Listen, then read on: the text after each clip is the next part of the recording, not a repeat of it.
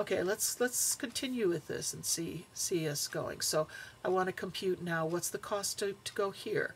Well, one way is to not advance on the name string, but do advance on the mean string. And so in order to advance on here but not advance on here, I have to insert a blank, right?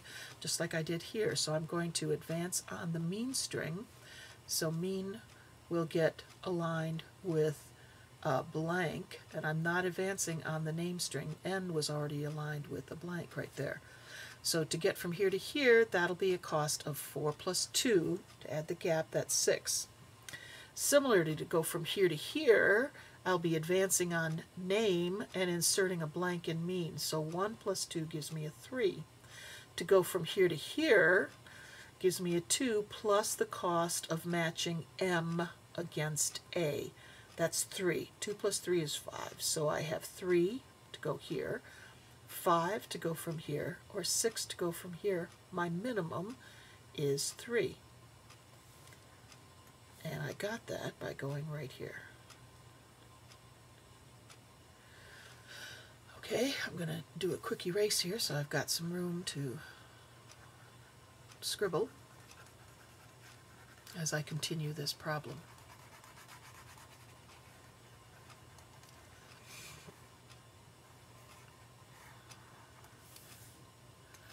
Okay, so now I want to do this one right here. So, to go from here to here, I can advance a gap. So that 6 plus 2 gives me 8. To go from here to here, I can insert a gap. So that's 3 plus 2 is 5.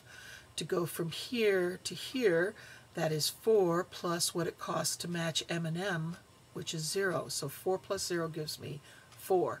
3 plus 2 gives me 5, 6 plus 2 gives me 8. The minimum is the 4. So that's what I pick right there. And I got that by going from here. Okay. Next, I've got from here to here, 8 plus 2 gives me 10. From here to here, 4 plus 2 gives me 6. From here to here, I advance on both, so it's 6 plus matching M against E is 3.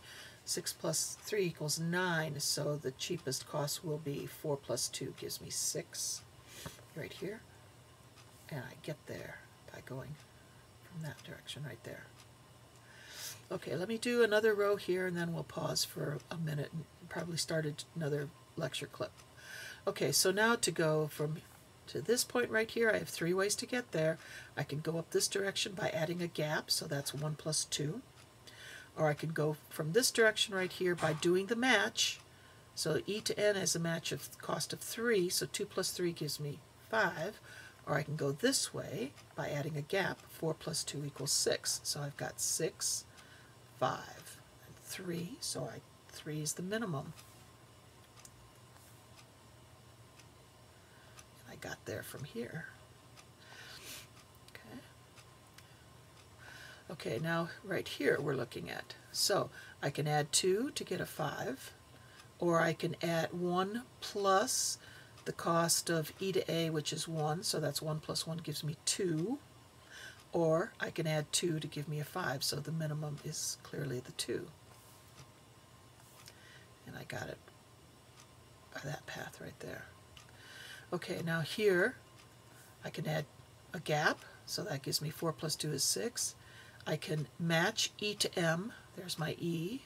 There's my M. That gives me a cost of 3. 3 plus 3 is 6. Or here I can add a gap, which is 2. 2 plus 2 is 4, so that will be the minimum.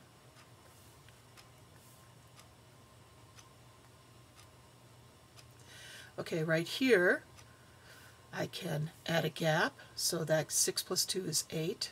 I can move both forward, so that matches E against E with the cost of 0. 4 plus 0 is 0. Or I can add a gap. 4 plus 2 is 6, so the cheapest will be 4 plus 0 is 0. That gives me a 4.